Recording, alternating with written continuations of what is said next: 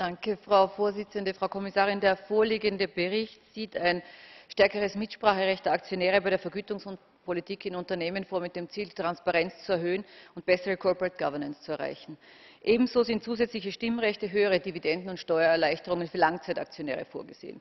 Zweifellos war das Vorbild für diesen Bericht äh, Frankreich, nämlich der, äh, das Florange-Gesetz vom März letzten Jahres, insbesondere der zweite Teil des Florange-Gesetzes vom letzten Jahr, das eben diese Punkte, nämlich die Stärkung der Aktionärsmitsprache bei der Vergütung, Steuererleichterungen, doppelte Dividende und äh, doppelte Stimmrechte vorsieht. Es kommt aus Frankreich viel Kritik an diesem äh, Gesetz, äh, aber auch von Bloomberg kommt Kritik, nämlich in dem Sinn, dass gesagt wird, dass äh, doppelte Stimmrechte dominante Aktionäre bevorzugen. Äh, in Frankreich ist das der Staat und Minderheitenaktionäre benachteiligen. Ebenso in diversifizierten Wirtschaftsräumen äh, institutionelle Investoren bevorzugen. Also das ist sicherlich als Kritik ernst zu nehmen. Es gibt aber auch etwas Positives, das ich besonders herausstreichen möchte, Thank Country by Country Reporting.